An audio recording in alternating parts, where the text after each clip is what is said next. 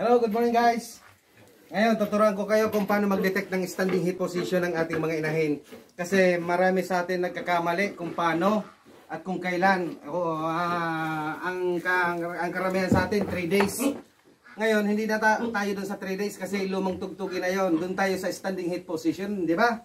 Kasi yon ang time na mag-ovulate na yung inahin natin. Maghuhulog sila ng egg cell para may sasalubong sa sperm cell natin o sa pag-AI sa sa galing sa bore.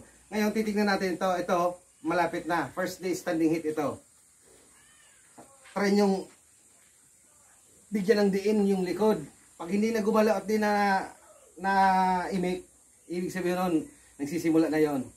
Close monitoring po tayo every ba before magpakain sa kanila. Tingnan natin, sasakayan ko kung ayun. First day hit.